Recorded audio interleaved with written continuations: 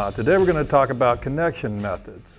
Now we've talked before about the types of connections, nine lead motors, six lead motors, 12 lead motors, and how to connect them, but we've never sat and talked about the method that we use. And what that means is the type of connector.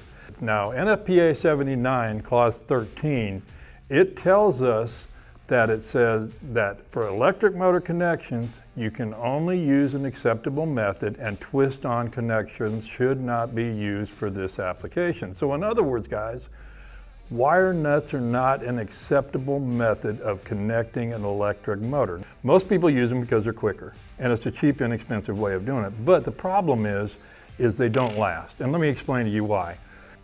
They're not really rated in current.